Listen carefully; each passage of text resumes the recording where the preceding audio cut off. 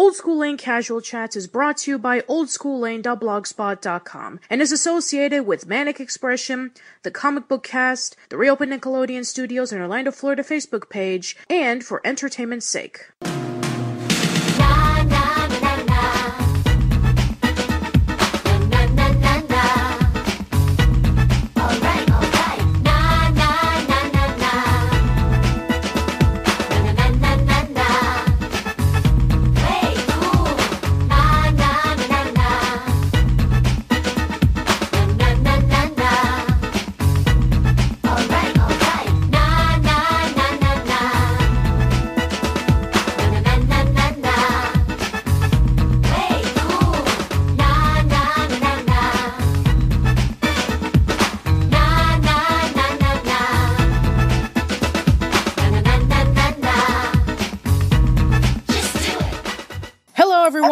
To a brand new episode of Casual Chats. I am Patricia, and I'm here with a very special guest.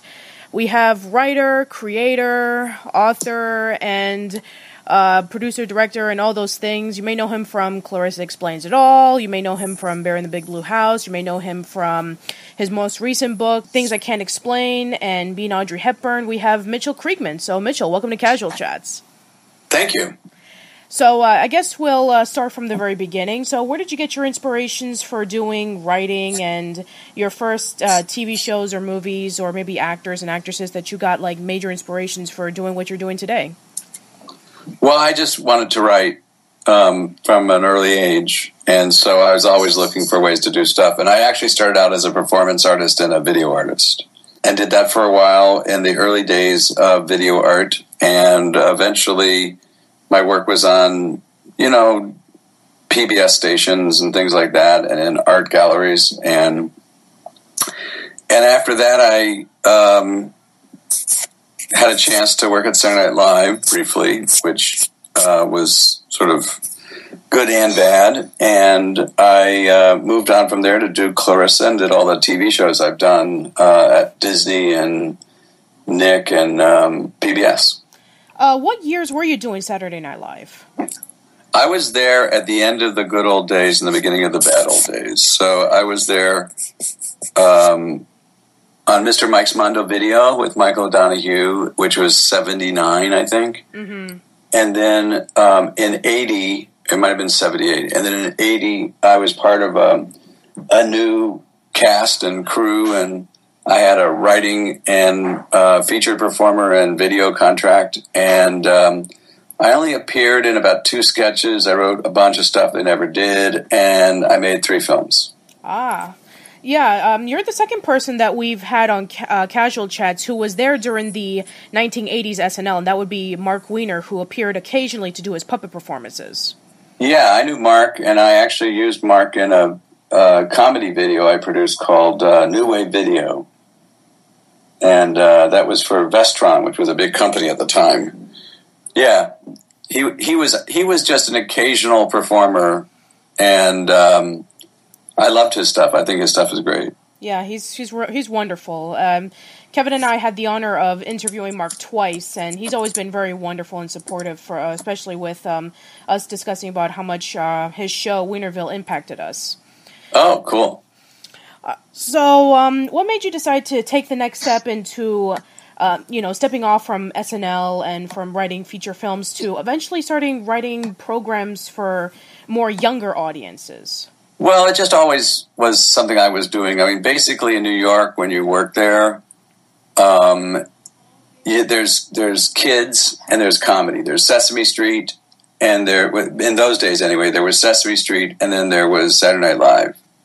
So um, a lot of people wrote for both of them, and my adult stuff was very kid-like, and my kid stuff was very adult-like. So it was just a matter of which one was going to succeed, you know. And in many ways, writing for kids was just way more interesting and challenging than writing for adults. Um, at that time, I don't think that's always been true, and always is not still always true, but Saturday Night Live was really boring. I mean, when you look at when you compare Ren and Stimpy and Saturday Night Live, which one is more interesting? You know, which one is more groundbreaking? Which one is more stimulating? You know, and uh, so you know, when I had the chance to when I pitched ideas at Saturday Night Live, they thought they were like you know too avant garde. When I pitched them to to Nickelodeon, they thought they were cool. So you know, I just went where I could be the most creative. And how did you meet up with the people who would eventually do all the stuff on Nickelodeon? I um, pretty much like the way I meet everybody. I just sort of see something cool and I try to meet them. And I had tried to, um, I had done a um, stock footage uh, special for them, which was one of their first, very first TV shows that they did that was original, uh, called uh, Now a Word from Our Sponsor that used old uh, TV commercials. And, um, and that was sort of my introduction to the executives there. And then I met Gerry Laybourne, and uh, she gave me a development deal that ended up becoming Clarissa Explains It All. Yeah, we'll get to Clarissa in a minute, but right before we do that, um, what were your experiences like for working on both Doug and Ren and Stimpy?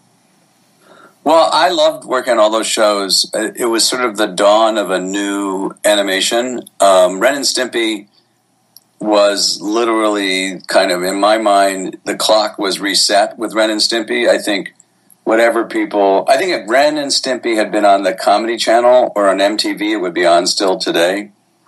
Um, but at Nick it was a volatile problem for them the way they handled it. I don't I don't blame John at all, oddly enough. I mean I think he's crazy, but that's not a surprise. And um, so I I mean, John didn't like anybody, and I'm in the category of people he didn't like. Um, but what he did, I really admired, which was that he he made um, cartoons uh, writers. So me being a writer made me a target for him. Um, but that was okay. It didn't really bother me. I just think he he did a great job at what he did. Uh, I just think it was unfortunate the way he got handled in the end. And I mean, he was doing things that would upset everybody, but that's sort of what an artist does. So I wasn't surprised about that. Uh, Doug was um, a little more straightforward, just because Jim Jinkins was obviously much easier to work with. And um, funny thing was that he was from the same hometown I was, and he was writing about things that were in my hometown. Um, so I knew them, and I just worked hard to structure those shows. You know, my thing was I was a development and story editor, so my goal was just to um, make sure they were well structured, make sure they appealed to kids, but also had another level. You know, had kind of a adult level. Doug had less of an adult level than Ren and Stimpy or uh, Rugrats, but it was still relatively sophisticated. And I think what it it shows is that when you add that other level, as kids grow older, they remember more things and they enjoy it more. They have a bigger appreciation for it. What were your favorite behind the scenes um, stuff that happened when doing both Doug and Ren and Stimpy? Well, I just didn't. I wasn't there for the production. You know, it's a, it's not quite um, like TV where there's a behind the scenes thing going on. I mean, the big thing that was going on with Ren and Stimpy was just all of these battles over storyboards and all these inappropriate stuff that um, John was trying to get into the shows. Um, that you know he'd hand in a storyboard that was like you know six inches thick, and you really couldn't use one that big. Um, and it had stuff that was you know really sadistic and and crazy in it, and that you couldn't really put on a kids network. But like I say, if it had been on, if it had been like South Park, we actually saw the South Park pilot because they originally pitched it as a kids show, and um, and you look at how much better it is that they're not a kids show. I mean, they would have died as a kid show. So, um, and you know, John just was um, very possessive of his work, and you know, like I say, I don't blame him for that. On Doug you know, Doug, honestly, Jim Jinkins was similar in the sense that he was possessive of his work, and he should be. I mean, just like I was of Clarissa, you know. And so I enjoyed working with um, those guys. They're, you know, animation's a long, drawn out process, and things don't happen very instantly. It's more you know, you get a script, you give notes, they take it to the storyboard artist, you get the storyboards, you know, it, it gets shipped off, you see the footage. There wasn't very much outrageous going on behind the scenes on any of those shows. Oh, fair enough. Now, um, now stepping into Clarissa, what were the lessons that you were able to take from working on all the shows that you uh, were, you know, had a little bit of a hand for, and eventually did go to do Clarissa? Well, I had done this thing at um, I had been at a, a, network called Comedy Channel before the was it Comedy Channel Comedy Network before is it called the Comedy Channel? What's it called now? Comedy Comedy Central. Comedy Central, right? So we we there was a thing called Comedy Channel that I produced two series on, and I was producing nine episodes a week uh, of. Um, Rachel Sweet, The Sweet Life, and Higgins Boys and Gruber. And Rachel was a former rock star, rock and roller from Cleveland, who was really funny and clever. Now she's a sitcom writer. And Higgins Boys and Gruber were this comedy team uh, that now Steve Higgins is Jimmy Kimmel's sidekick. Um, but he was, he still is the head writer at Saturday Night Live. Uh, and when I was working them, they were just starting out and was their comedy group and we did uh, this ridiculous format of three hours of stand up comedy clips with this really clever rap, wraparound by both Rachel and by the Higgins boys. And I, like everybody, got frustrated with the um, this like structure and all the creative t- creativity we were putting in it that no one ever got to see. So I took the Higgins boys um, segments that were the wraparound and I cut them together like a sitcom. And it was a really big deal for me because I didn't write sitcoms before, and I had no desire to write sitcoms. In fact, I hated them. And uh, but when I cut this thing together like a sitcom, it was so wacky and different. It had so many short scenes, and they were talking to the camera because they were the hosts, and there were all these time jumps, and lots of cool stuff was going on. So I thought, wow, I'd love to do a sitcom like this, you know. And uh, so that was one element that I had learned from. And then Rachel's thing was she was a little more straightforward host. Um, but we did these great segments, and she had lists and things like that.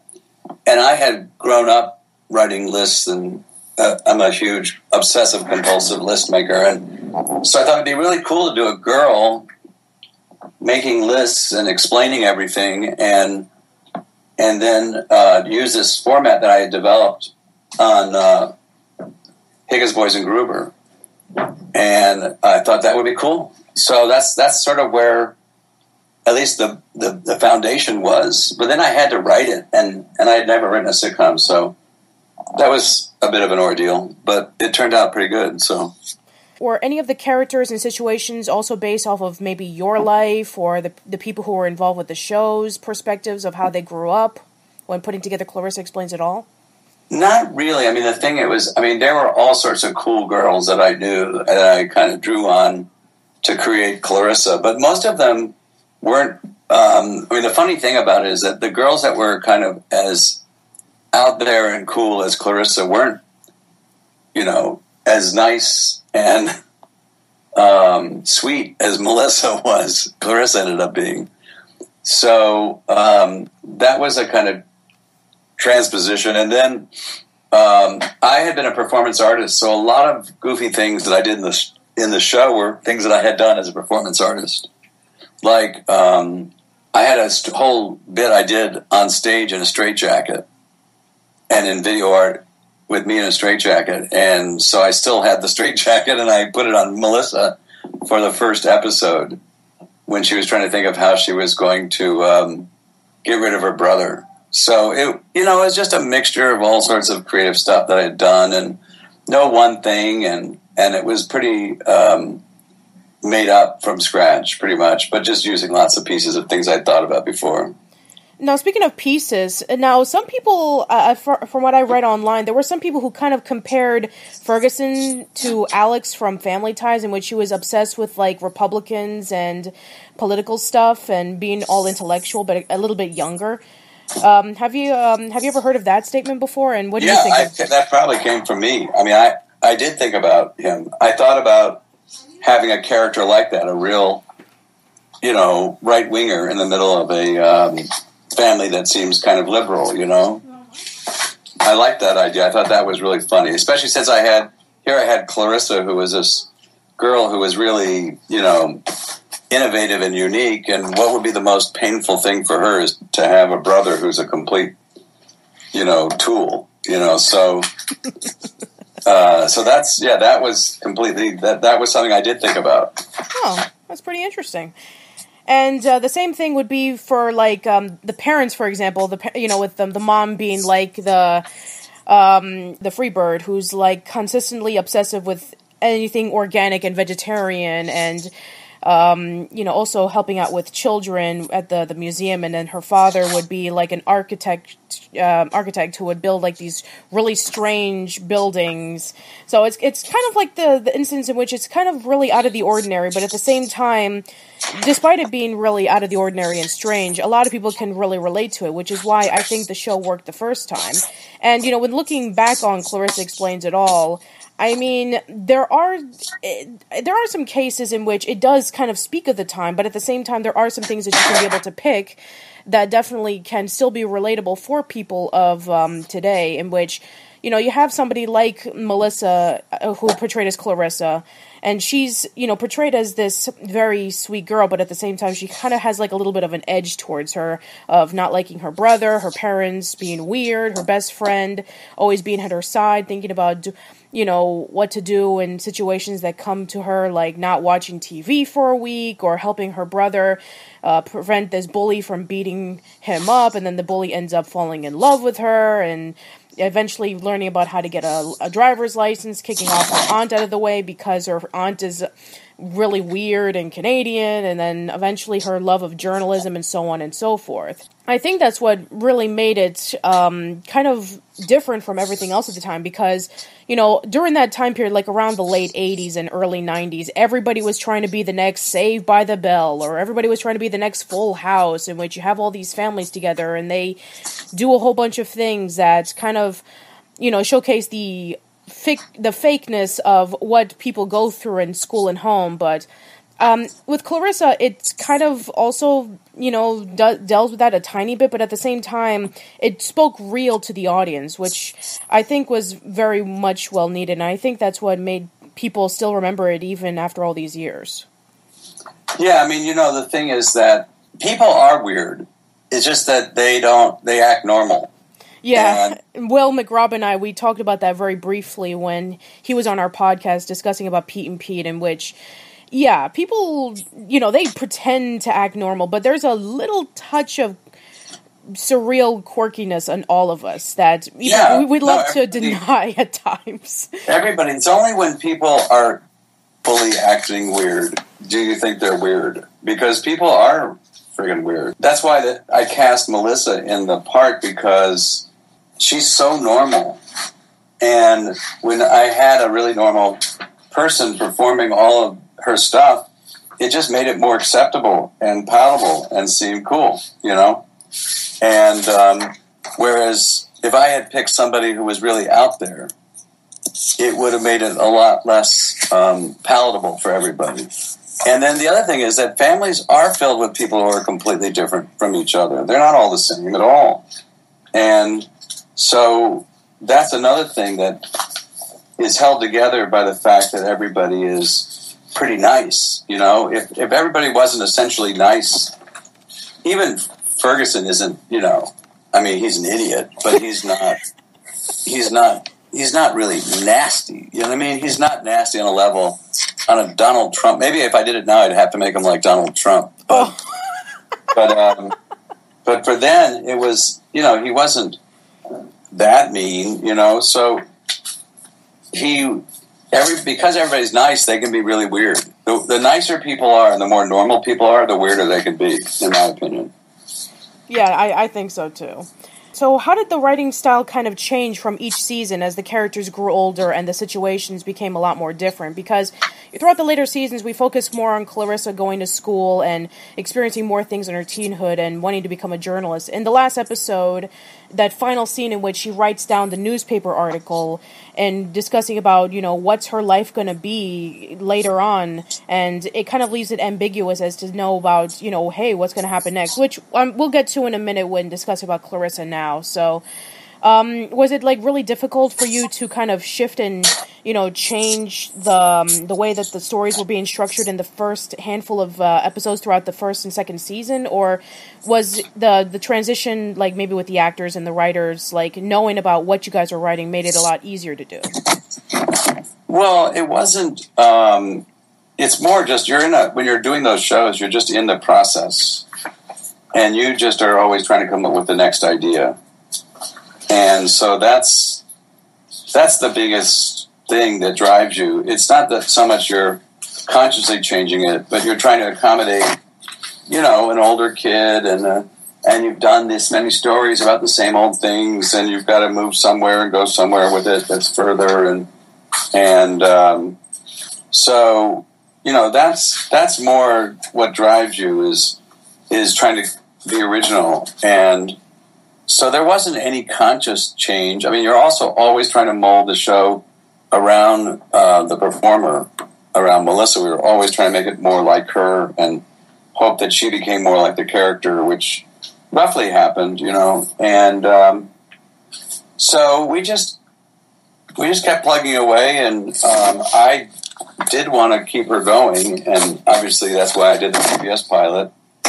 Um, and it would have worked if I hadn't been sort of torpedoed on it. But um, so yeah, it's just um, it's just a matter of uh, you just keep trying to be original and do something new. This was discussed briefly in various interviews online and uh, in the book Slimed an Oral History of Nickelodeon's Golden Age. But uh, Clarissa Explains It All had a CD.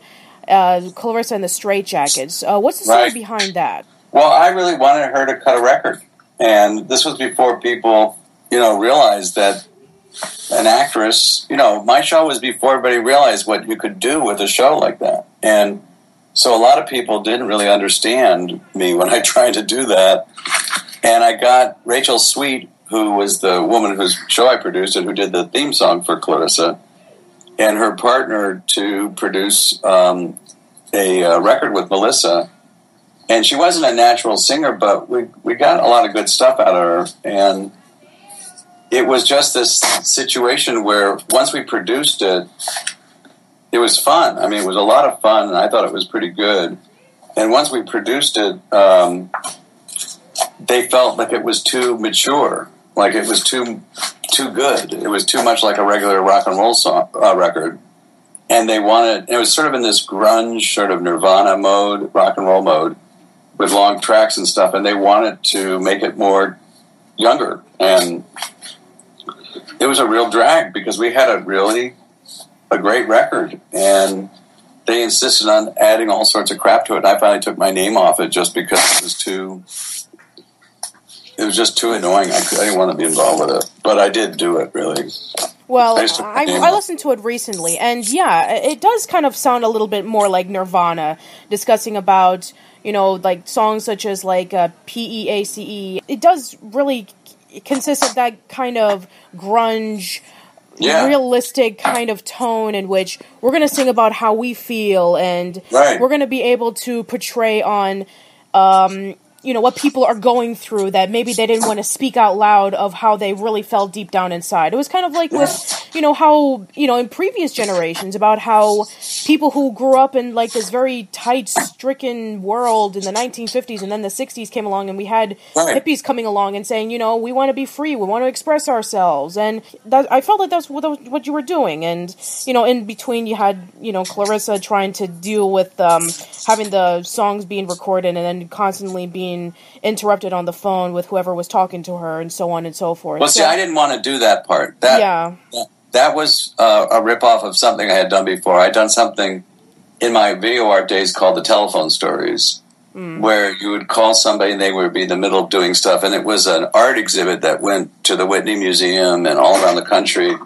it was on NPR even. Um, and so we ended up doing that, but I, I didn't want to do that. I just wanted to have a record of some great songs. And this was before, you know, Lizzie McGuire and uh, Miley Cyrus and, and they just, you know, look, we didn't sell any merchandise on Clarissa. We didn't have any clothing from Clarissa. We didn't, we had a board game. That's all we had. Oh, I remember know? that board game actually. I used to own that board game as a kid. Yeah. Where Clarissa really tried good? to get pieces together so she can get herself her own car and driver's license. Yeah. I wrote that board game. It was a really good board game. yeah, it, it felt like the show pretty much. Yeah. So uh, when looking back on Clarissa Explains It All, and you were telling me before we started recording that it wasn't until um, you know when just when you went to the Slime Book event 90 Second Why was you, when you realized that now people were really um, loving the show, and they said about how much it meant to them as kids, and you know how do you feel about that um, when listening to it like all these years later? Uh, well, I had a, every time I taught at Southampton College, I got a little bit of sense of it but I didn't really get how big a deal it was. And then at UCSB, one day I taught um, actually a science course, and the people were just they just knew all my jokes, they knew all my stuff, and they and I felt like that they were they just I mean I just felt the vibe from them that they uh, grew up with my stuff, and then I would start.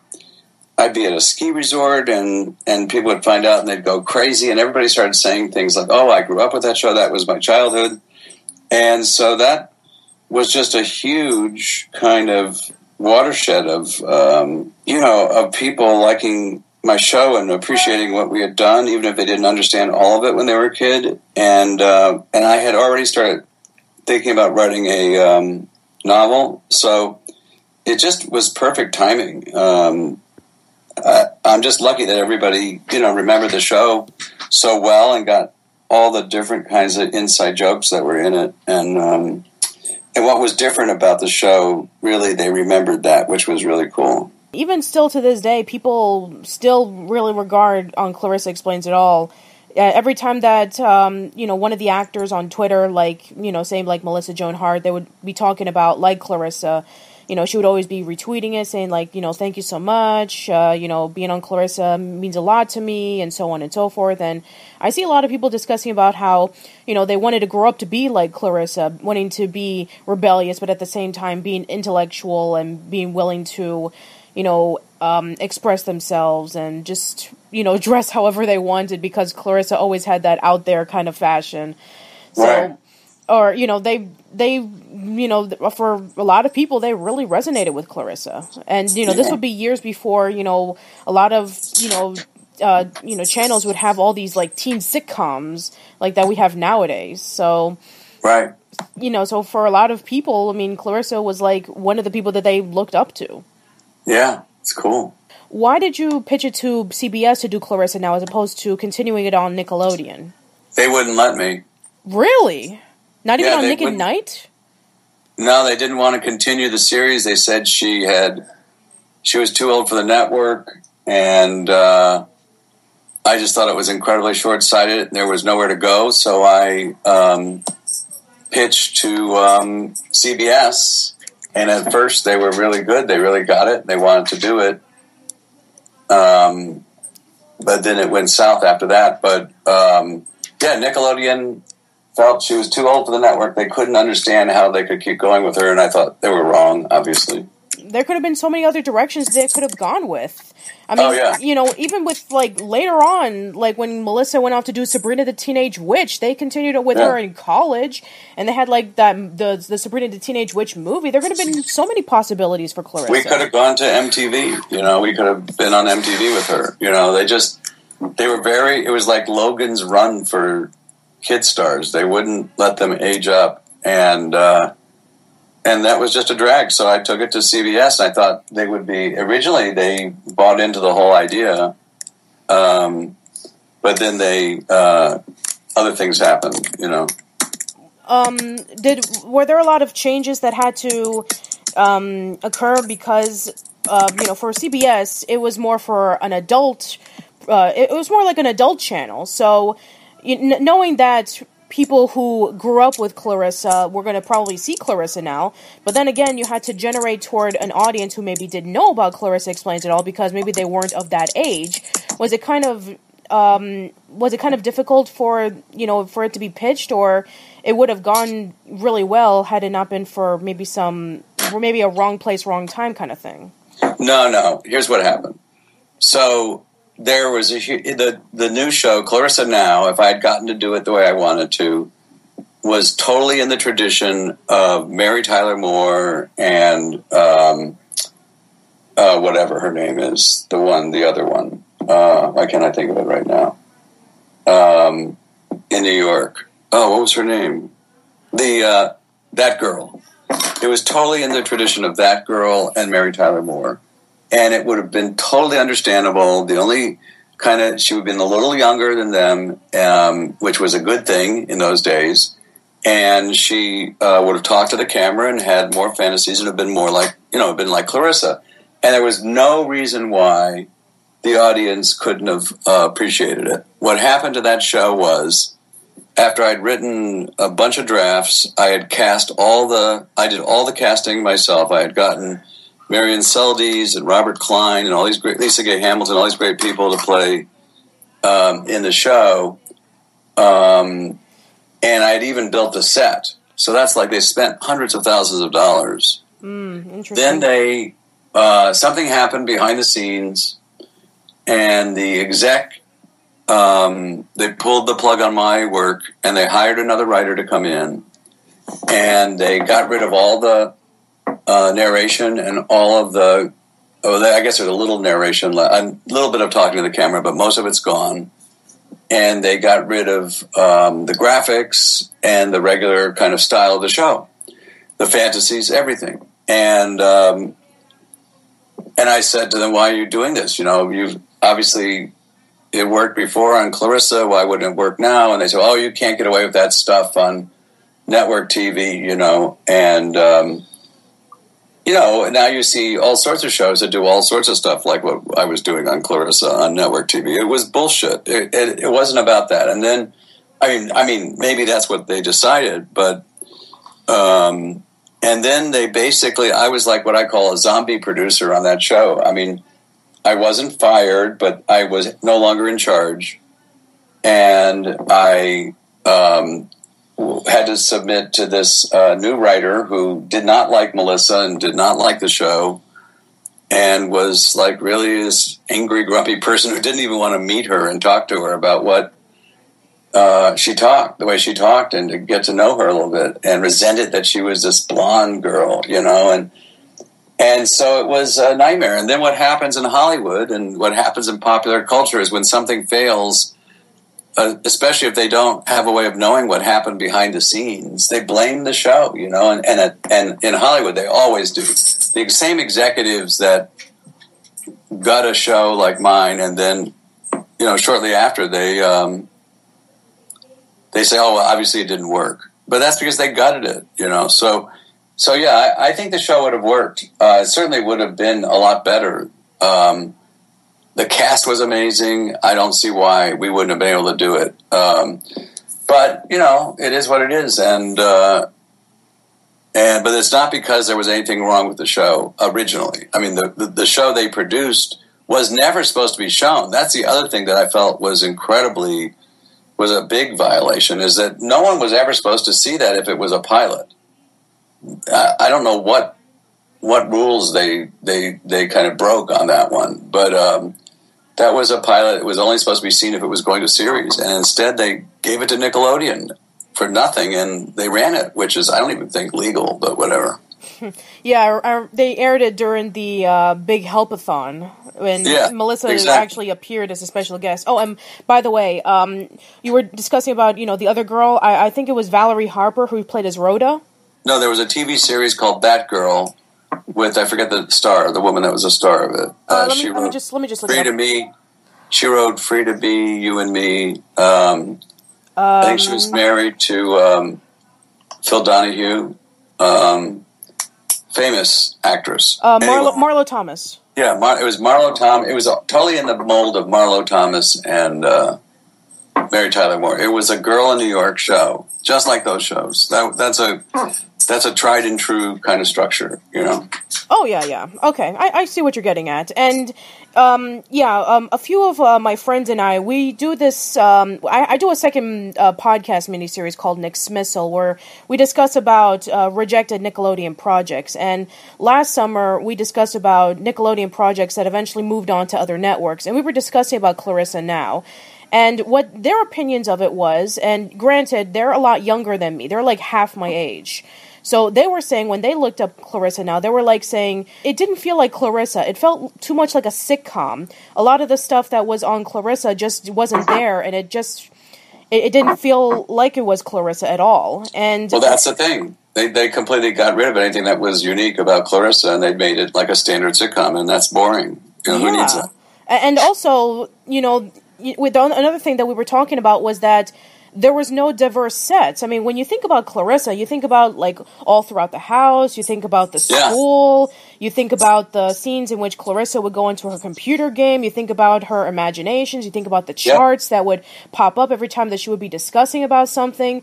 But the only scenes that you would get is like you have the beginning in which it's in the subway, and then right. pretty much throughout 95% of the entire pilot, it's just in the office. And the office is pretty much empty with pretty much nothing there to excite yeah. the viewers. It's nothing. Well, that's not the way I wrote it. So that's what happened when they when this girl got a hold of it and when the network changed it. Yeah, well, I gotta say, Mitchell, that times certainly have changed since then. Now people are really excited about, hey, you know, all those shows that we liked 20 or 30 years ago, let's bring it back for our old generation and maybe possibly get a hold of the new ones. Yeah, well, and even that can be terrible if they don't do it well. Yeah, I mean, exactly. Have you seen the Fuller House? I have not, but I have seen the trailers for it. I've seen all the articles for it. I maybe I'll see it. I'm not sure, but I know about it. I know about Girl Meets World. Um, I know that um, Gilmore Girls is having a revival on Netflix, and I mean, I know that Boy Girl Meets World is supposedly getting more and more like Clarissa every day. I've heard that. Yeah, I've heard that too. I've heard that you know it's slowly drifting away from being a typical current modern Disney Channel show and trying to be like Clarissa, where it's focusing on, hey, we have a teenage girl going through her life with her parents and stuff like that. So, right, yeah anyway, so now that we have Clarissa now out of the way, um, so let's discuss about your other pro- projects. And I know for our younger listeners, they probably want to know a little bit more about Big in the Big Bear in the Big Blue House because um, sure. Uh, I didn't grow up with it. I was too old when that show came out. But um, Noel MacNeal, who um, I grew up with with Magellan on Eureka's Castle, he was uh-huh. amazing in that show. And so um, I know that uh, you know when reading the book Slimed, a lot of the people who worked on Nickelodeon, they eventually went over to work on the Disney Channel. You know, like you know, Paul and Joe going off to do Recess. A lot of the writers went off to do a lot of the, um, you know, writing a lot of the cartoons on Disney Channel. Geraldine Laybourne would be the president of Disney Channel until 2000. So um, was that kind of like the similar thing for you too, in which Nickelodeon kind of like grew too much of a company and not more of a of the fun small independent company that it once was, in which it had a lot of more freedom and you know then you know it just kind of became too much of a business.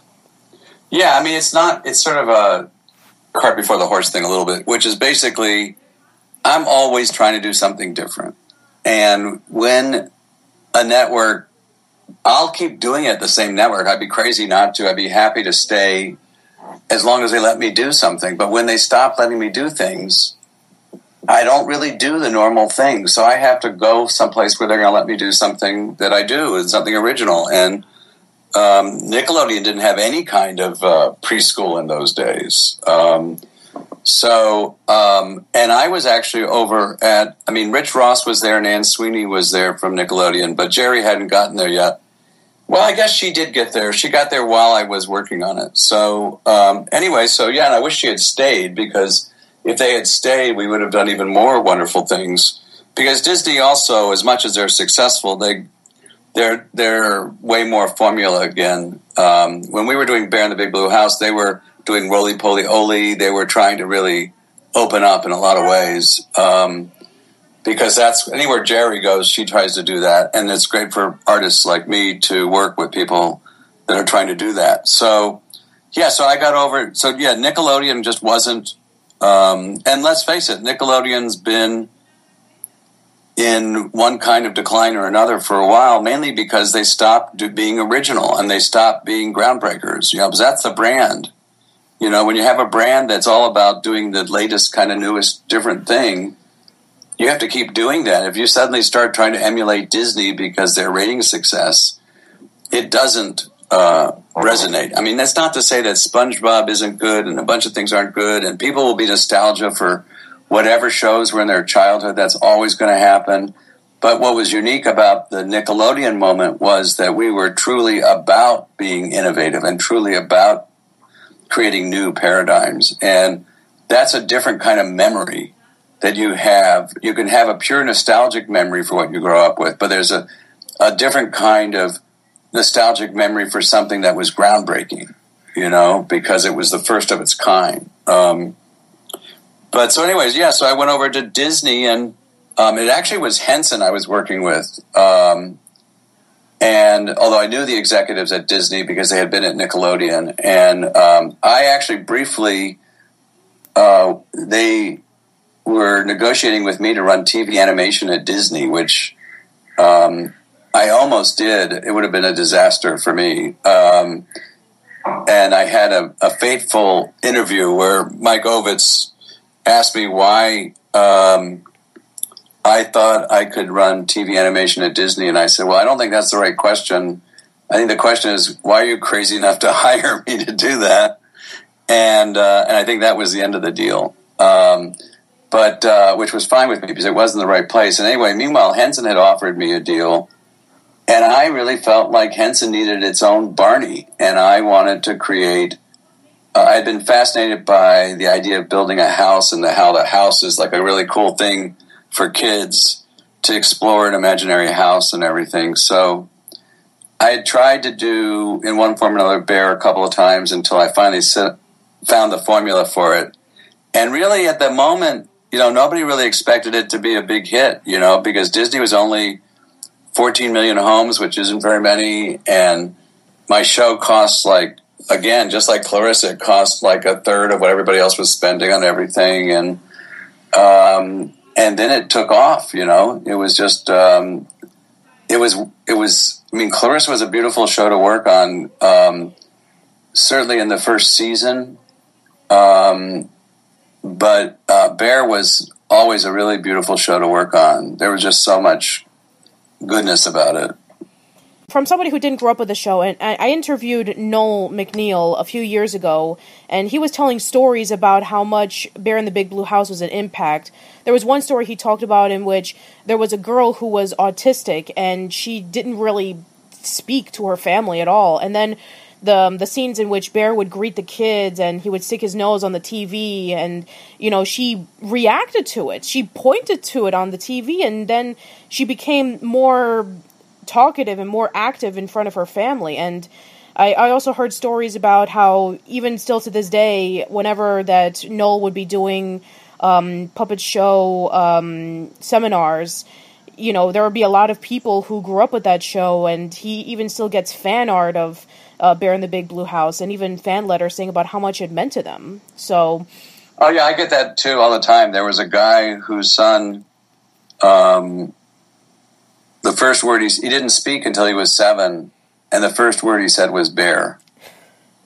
And then he talks about all the relationships between people in terms of what happened between Ojo and Bear and Pip and Pop and he's graduated high school and he still watches the show, but he watches in Chinese and Japanese and Arabic. Oh and, wow! Uh, yeah, it's a great.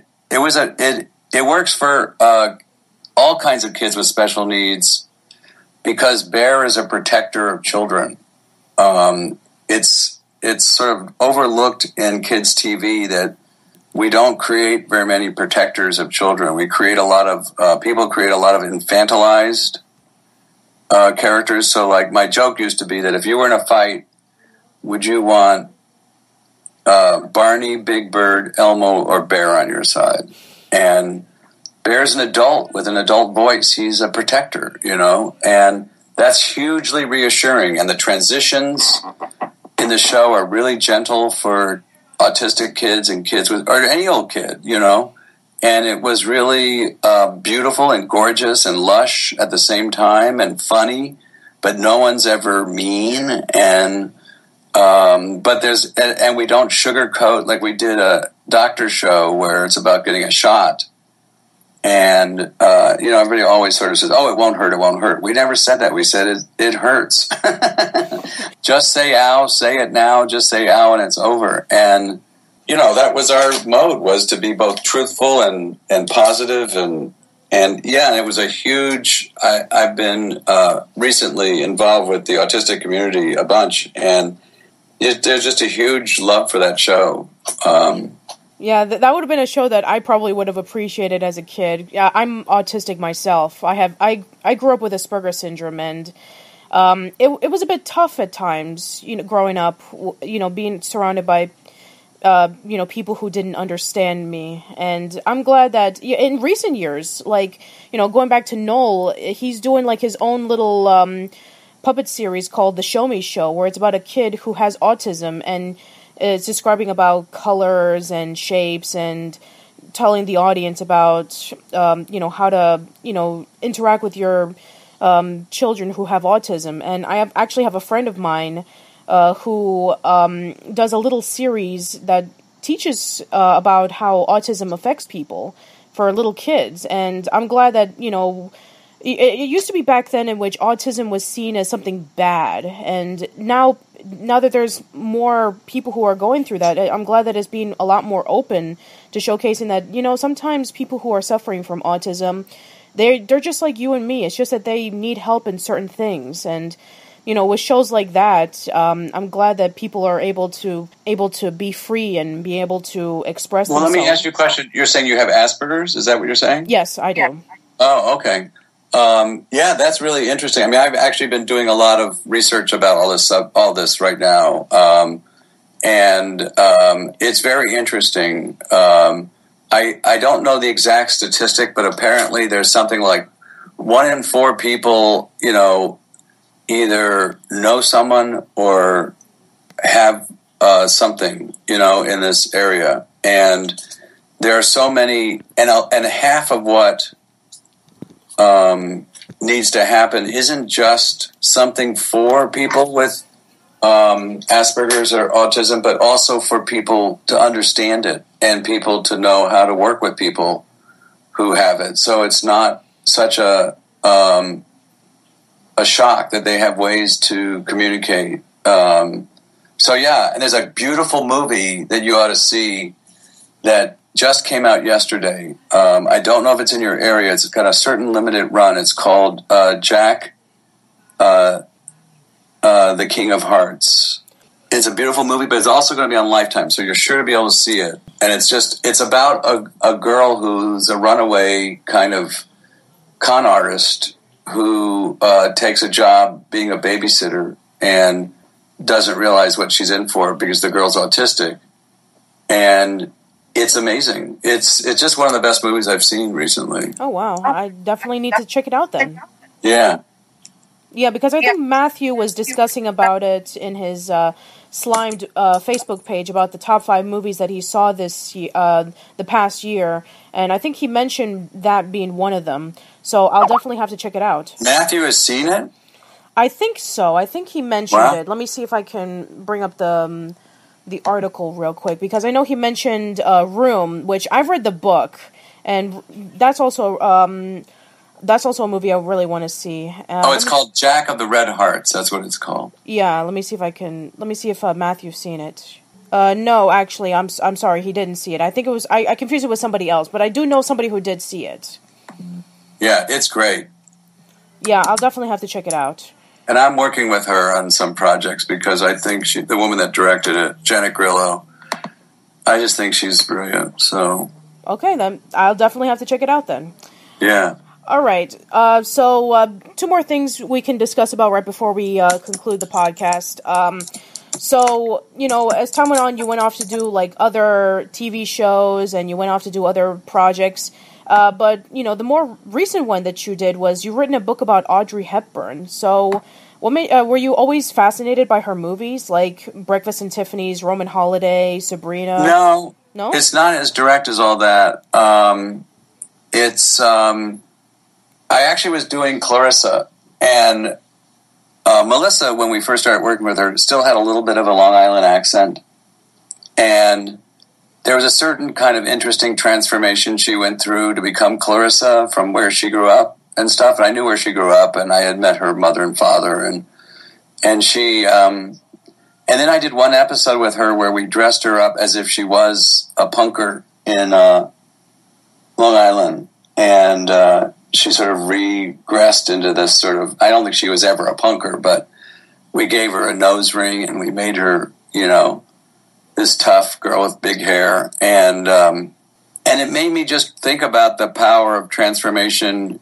in women and how they can, you know, change the clothes they're wearing and and they become somebody else. And um, I had always liked Audrey Hepburn. I wasn't a fanatic or anything, but I always liked the idea of Audrey Hepburn a lot. I liked the idea that she made her look and made herself into what she became, and that she broke with the studio system to become this independent actress. And uh, so it was an idea I literally had for Melissa way back when, um, and had pitched it to her once. Uh, but it never happened. Where uh, it was when she, I felt at some moment early in her career she had a certain uh, Winona Ryder quality, and I think she could have done it. Um, now we're talking about like Winona Ryder from like singles kind of thing. From Beetlejuice, oh, like, from, yeah, because um, Winona Ryder was also in singles, and apparently, Yeah. according to what a lot of people say, it kind of influenced the grunge era. So I was just thinking about Yeah. that when you were talking about how Melissa dressed up in like this outfit that had the nose ring and everything. Yeah. So it was interesting, you know, and um, so I really uh, had thought about this idea for 20 years before I wrote it. And uh, when I finally uh, decided I'd write it as a novel, it just grew and became much deeper and better and better. And I love it. It's, you know, it's about self transformation. And I guarantee you, you've done some self transformation from your background. I certainly have from my background, and and it's a really important thing. The people that are able to transform themselves are the people that are able to get past what they grew up with, and to they're the people that can change the bad things that happen in the world. You know, in my opinion, and um, so that's what that book is about. It's really about self transformation, and this girl from New Jersey who gets through her crummy life by watching Audrey Hepburn movies, and she gets a tra- chance to try on the Givenchy dress and passes as an ingenue and sort of gets to be who she wants to be by pretending to be somebody else. Um, and naturally, that can't last uh, forever. But just like the Cinderella story doesn't last, but it's a it's a really interesting story, a rich story. Hmm. Um, that that sounds very interesting, and you know I haven't read the book yet, but um, I'll definitely have to take a look into it if I have. Well, let me know what you think when you do. Oh, definitely, yeah. And uh, speaking of books, um, I guess we'll kind of talk about, you know, the, the the most recent one is things I can't explain. And you know, for any of you guys who have been longtime followers of me, a few years ago, I actually posted when I first heard the announcement that I was really looking forward to the book and discussing about, you know, what the book was going to be about, about Clarissa in her twenties, and you know how I felt about it, and I was really excited. And apparently, you saw that video. Yeah, Oh my god. That, I did. That, that looks. I, I'm sorry. That looks terrible by today's standards. My, how the did audio you is crap. I saw it though?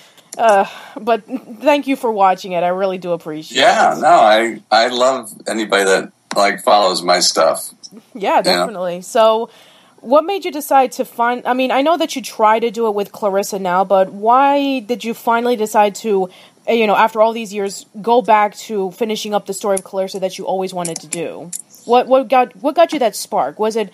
Well, I never gave up. First of all, wanting to do it, and then I always I did a lot of film. I wrote a lot of movies and sitcom pilots that had not Clarissa, but a girl was Clarissa like in certain ways. And growing up, I had been I've been wanting to grow her up for a long time. She never really left in my mind at all, and uh, I wasn't finished. I never was. Uh, when I wrote, started writing the Being Audrey Hepburn novel, I thought, oh shit, I'll just write it as a novel. Hell with all these people. And um, I realized I had the rights to write it as a novel, and I was lucky enough to get a publisher, and and I wrote it. And it wasn't completely easy to do because um, it's a sitcom, Clarissa, and so it doesn't literally translate into um, a novel. But I had to, I had to find that balance of tone between the silliness of the show and the a little more heaviness of a novel. And I also wanted to see her get her ass kicked um, because she never had it happen to her in the show, and those were things that I really wanted to see happen. And I got to do all the stuff I never got to do in the show, and it was a lot of it was wish fulfillment. It was almost like fan fiction in a funny way, um, because I I had to actually go back and remember a lot of stuff and try to capture her voice again, which was hard at first. And so, yeah, I loved it. I loved everything about it. You know. Yeah, and um, again, I've been hearing a lot of people who have read the book. They're saying it's great. It's like you know seeing Clarissa again, um, you know, on TV, except that she's roughly around my age and she's Yeah. going through much more uh, struggles that are more harder and realistic that uh, probably I went through because you know she, it, it- just like if you were to watch the show you know she wants to be a journalist and obviously she would move to New York which makes total sense but guess what? It's not easy. I mean especially nowadays in you know 2016 you know being a journalist is getting a lot harder because of the internet and because of you know going in from a small town um you know that she lived in in the show and then moving into the big city and practically knowing nobody and having struggles with relationships and so on and so forth. It's let's be honest it sucks. But you know again it's you know from what i've been hearing from a lot of people it's wonderful that you're able to finally tackle this and you're able to finally say the story that you've wanted to say because i know a lot of people who really like it and I wouldn't be surprised if there would be more people who want to see more, like maybe a Clarissa Explains It All reunion, or maybe like one of those one hour TV specials, or maybe like a five minute clip online where you get to see some of the cast members reunite. So, um, you know, I, I just want to let you know that, you know, it's great to finally have Clarissa back in our, you know, day and age. Yeah, no, I'm really excited about it too. Um, and I do hope that there'll be um, there'll be more. Um, I feel like there could be a Clarissa multiverse where there's Clarissas of every age like existing at the same time. The Doctor And- Who of Clarissa Explains It yeah, All. right. Doctor Who. Yeah, the Doctor Who of Clarissa. That's a good line. So yeah, so I feel like there could be, and and you don't. I mean, it might happen. Um, so, uh, and I'd love to write another novel. You know, that would be fine with me too. Um, so it just there's been such a great uh, outpouring. Um, so you know, we'll see what happens. But it's been really satisfying. It it actually got everybody to think seriously about Clarissa again in a way too. I mean, it was already look. It's amazing to me this week. And oh, by the way, there's a um, Audible version of the book is coming out on the fifteenth.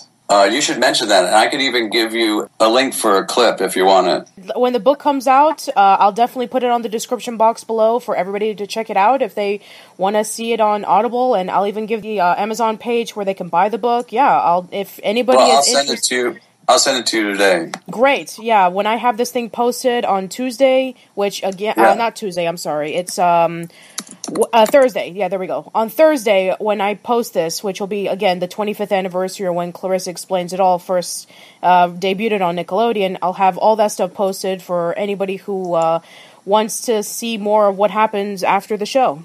All right. Well, um, I think that should be all the time that we have Cool. t- today. But uh, yeah, um, right before we go, do you have anything to plug or self promote? Any upcoming projects? Well, just the Audible.